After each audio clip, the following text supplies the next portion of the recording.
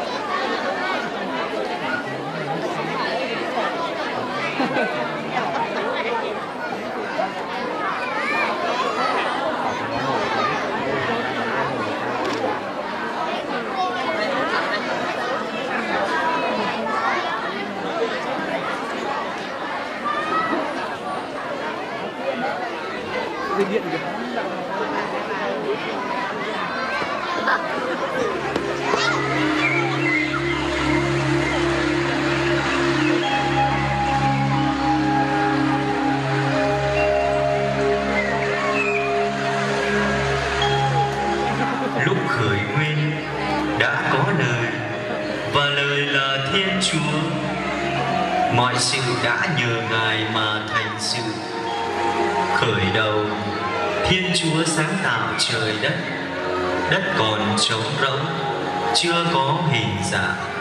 Bóng tối bao trùm bậc thẳm ngài đã tạo nên vũ trụ muôn loài muôn vật.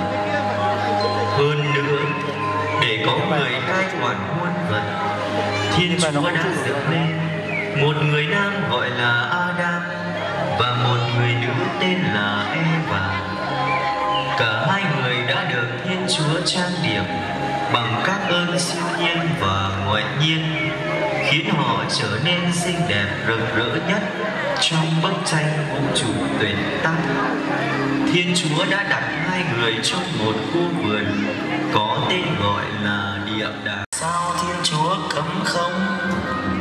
Không, tôi không biết, tôi chỉ vâng lời Thiên Chúa thôi ha ha ha ha.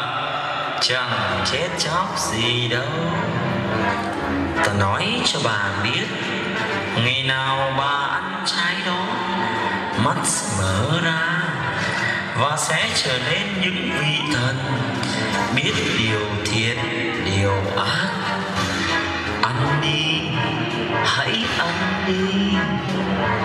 Điều ta nói với bà là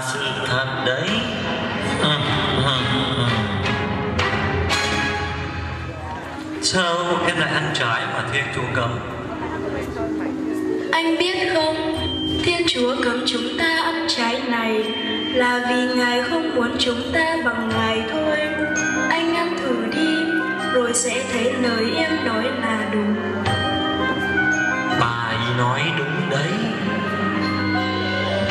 đứng trước lời ngon ngọt Adam cũng trở nên mù quáng không còn nhớ tới lời dạy của Thiên Chúa nữa và đã cầm lấy trái cấm từ tay Eva mà ăn nhưng khi vừa cắn thì trời đất quay cuồng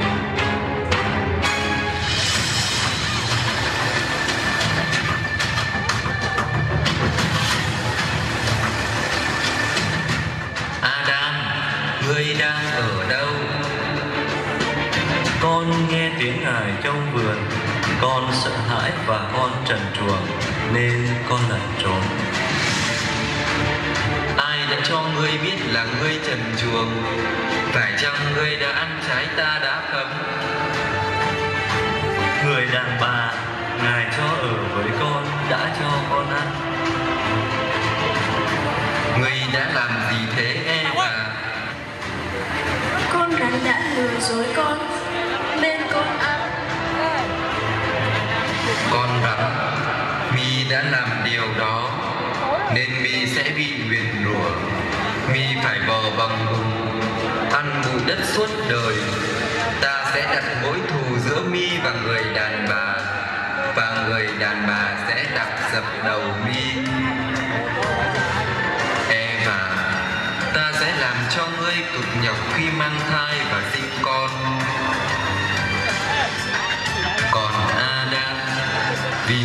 Đã nghe lời vợ tôi nên ta truyền. Vất phải cực nhọc mọi ngày để kiếm ăn đổ mồ hôi trắng mới có bánh ăn. Và ngươi là bụi đất, sẽ trở về với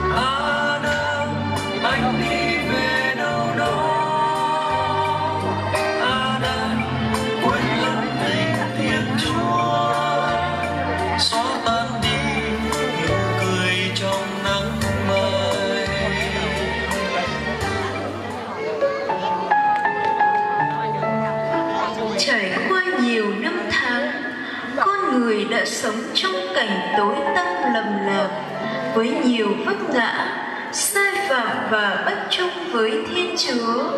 Chính vì thế mà Thiên Chúa đã sai các tiên tri đến để cảnh báo, sửa dạy và nhắc nhở họ. Thiên Chúa hứa sẽ cứu chuộc nhân loại. Công cuộc cứu lỗi sẽ do đấng cứu thế, có một Thiên Chúa thực hiện. Eva Vũ đã phạm tội, và giờ đây Thiên Chúa lại ban cho nhân loại một Eva mới, chính là Đức Maria. Qua Đức Mẹ, đấng cứu thế sẽ đến thế gian.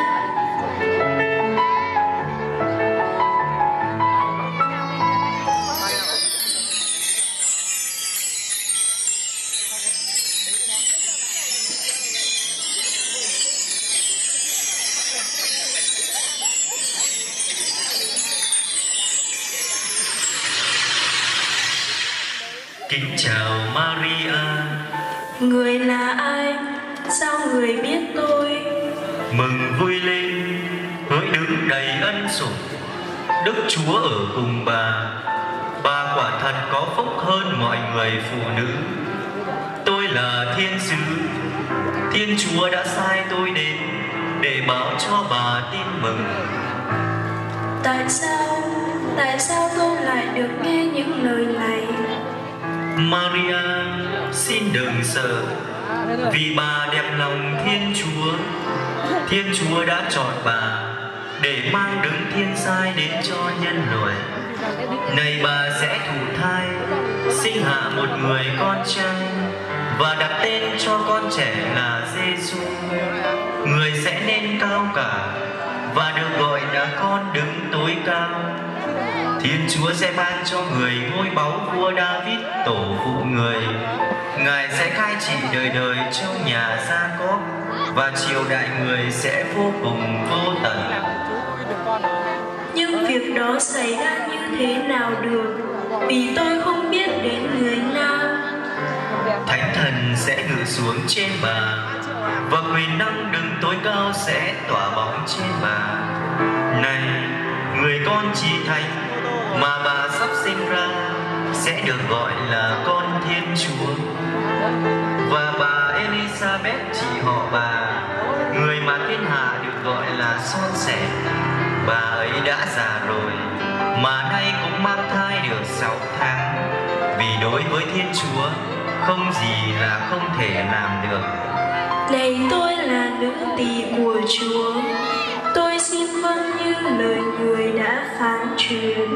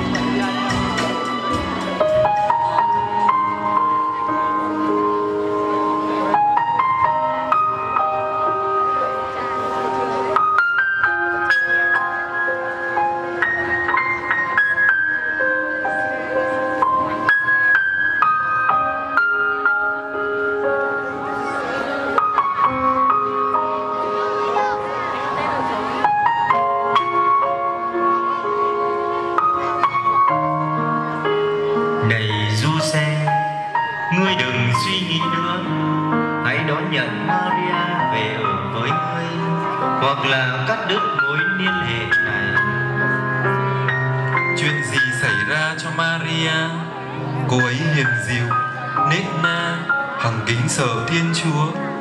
Thế sao lại như thế? Thật là không thể hiểu được. Hỡi du xe con vua david đừng ngài nhận maria về nhà làm bạn, vì maria mang thai bởi quyền năng của chúa thánh thần.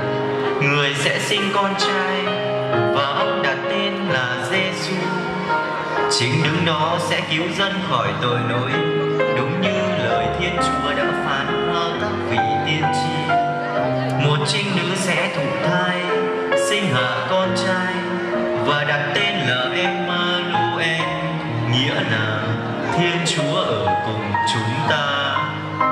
Sáng hôm sau, Giuse đã làm như lời Thiên sứ truyền.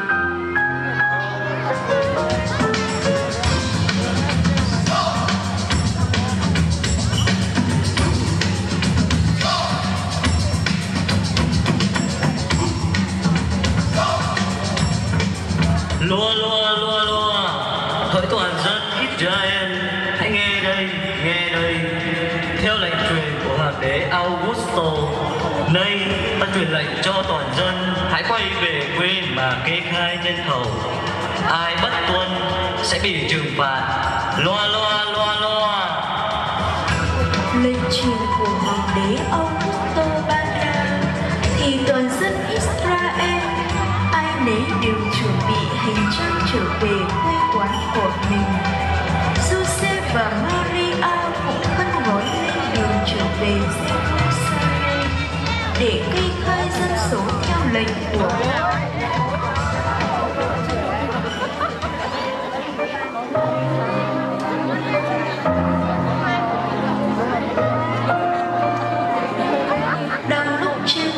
về trời đã tối du xe tìm đến quán trọ.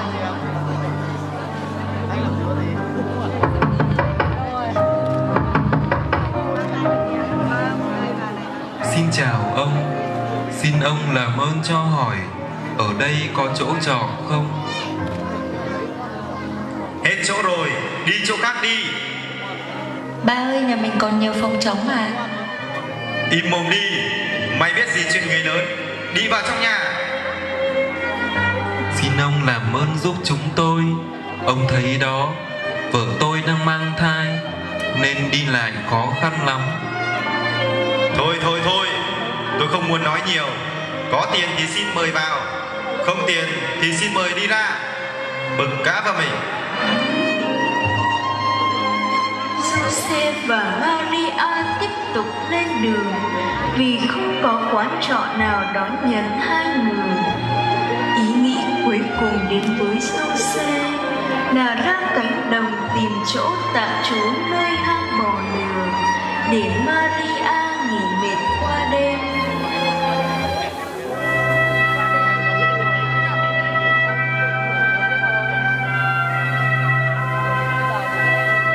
Ngoài trời mùa đông giá buốt Tiếng gió rít từng hồi từng hồi.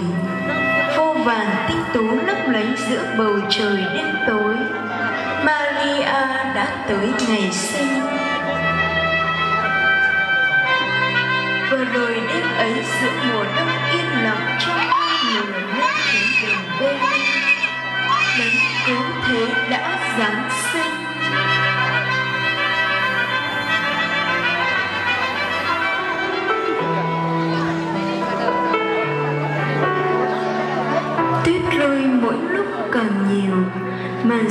dày đặc Bao phủ mặt đất Không gian và thời gian dường như ngừng lại Để đón chào con Thiên Chúa giáng thế.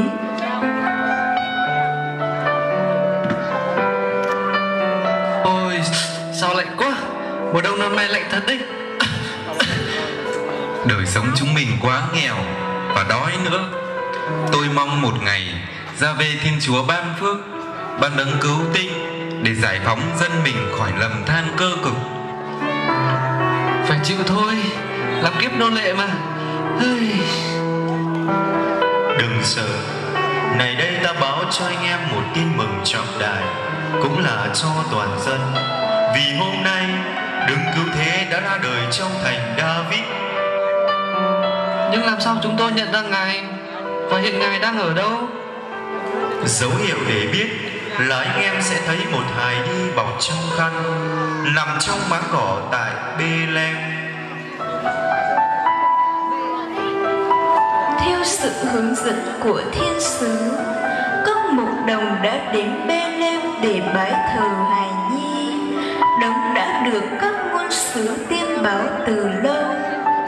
Khi họ đến nơi thì gặp Giuse, Maria và hài nhi. Họ đã sắp mình thờ lạy và các tụng về những điều Thiên Chúa hứa ban cho nhân loại. Cùng lúc ấy, từ bên kia phương đông đã xuất hiện một vì sao lớn rất lạ, sáng hơn các ngôi sao khác. Ồ, hôm nay sao lại có một ngôi sao kỳ lạ xuất hiện ở phương đông? Phải chăng đã có một vị cứu tinh đã ra đời để cứu nhân loại? Ngôi sao lạ đó đã dẫn đưa các đạo sĩ đến bên hang lửa. Khi đến nơi họ thấy Jose, Maria và Hài Nhi mới sinh nằm trong máng cỏ. Họ đã lấy vàng, nhũ hương và mộc dược dâng lên Hài Nhi. Sứ báo mộng là đừng quay trở lại với vua Herode, nên họ đã đi lối khác mà về xứ mình.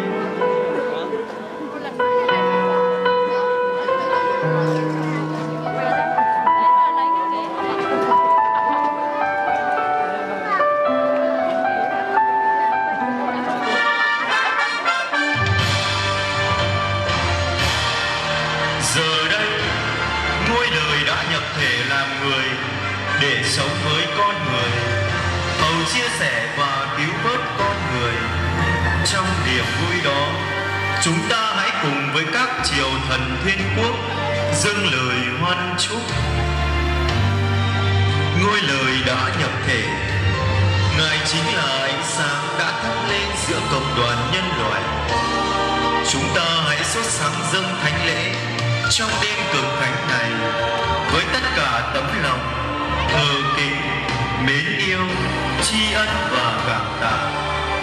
Ngài đã giáng trần giữa chúng ta mang theo phúc lộc tràn đầy cho những ai thành tâm thiện trí vinh danh thiên chúa trên trời, bình an dưới thế cho người.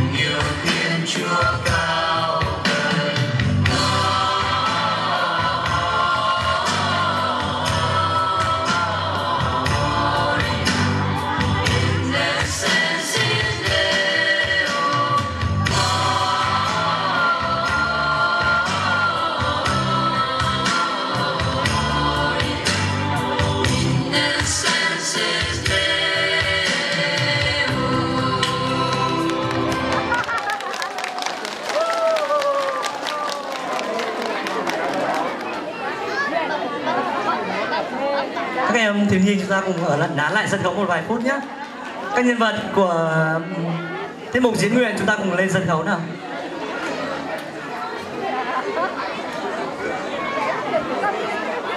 Sau đây xin mời các nhân vật của tiết mục diễn nguyện chúng ta cùng lên sân khấu.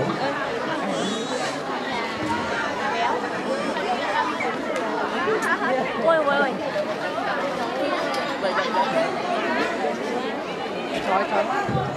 xin cảm ơn tiết mục diễn nguyện hết sức đặc sắc đã lấy đi vô vàn giọt nước mắt của khán giả.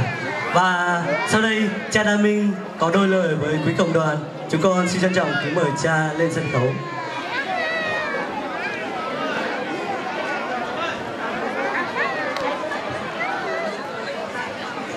Kính thưa cộng đoàn, cái cảm xúc của con lúc này phải nói là dâng trào cái niềm vui và con xin cùng với tất cả dân họ và mọi người ở nơi đây tạ ơn Thiên Chúa vì một cái mùa Giáng sinh đầy ý nghĩa và lần đầu tiên ở giáo họ Đông Vụ chúng ta tổ chức được một đêm canh thức Giáng sinh. Đến giờ này mọi sự rất tốt đẹp. Tạ ơn Chúa và cảm ơn nhau. Chúng ta cho một tràng pháo tay. Và nhân tiện đây con cũng cảm ơn toàn thể dân họ, từ người lớn cho tới các em cùng tất cả những anh chị em sinh viên, cũng như những anh chị em xa quê và toàn thể cộng đoàn, đã cùng chung tay để tạo nên một đêm canh thức giáng nguyện, diễn nguyện thật tuyệt vời. Và nhân tiện đây, con cũng xin chúc cộng đoàn một mùa Giáng sinh an lành, tràn đầy tình thương của Thiên Chúa và một năm mới ân lộc chan hòa. Và với cá nhân của tôi tôi cũng xin gửi lời chúc Giáng sinh an lành tới tất cả các cơ quan, các cấp chính quyền, từ phường, Phúc Lợi cho tới quận Long Biên. Cách nào đó cũng quan tâm tới giáo họ nông vụ của chúng tôi. Xin kính chúc các quý vị sức khỏe, bình an, công tác tốt và đạt nhiều cái thành tích cao trong cái năm tới này. Một lần nữa, chúng con xin hết lòng cảm ơn và cùng chúc mừng nhau. Merry Christmas and Happy New Year!